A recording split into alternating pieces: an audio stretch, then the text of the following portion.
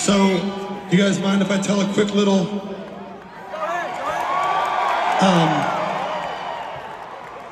so, we had done a bunch of demo tapes in 99, 2000.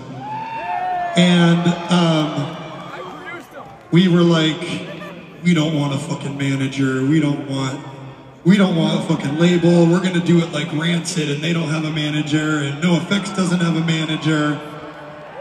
So we met this guy, Larry Jacobson, who ended up managing the band for 20 years. But one of the first things he told us is he said, "You got to get a fucking producer, man. You guys are just in there and shit's fucking all over the place, and you need somebody to help you guys."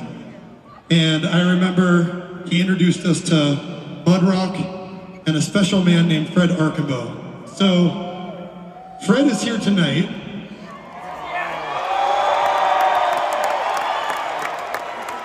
Uh, without those guys, we would have never been given a chance. I remember they sat there and looked at the Rev and said, "You got to play to a fucking click, man. You're all over the place." And and Jimmy was like, "Fuck, I guess I'll learn how to play to a click." I don't know.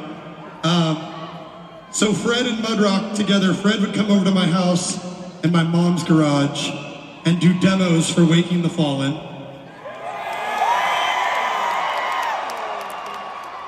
And he would sit there painstakingly with Johnny and with Jimmy and with fucking everybody. And then we went on to do City of Evil with him.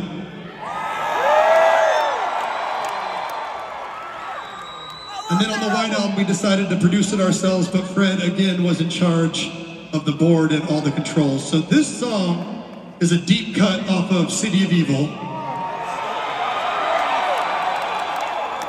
And it goes out to Fred. I don't know where you're at right now, but we fucking love you. We appreciate you. This one's called Blinded in Chains.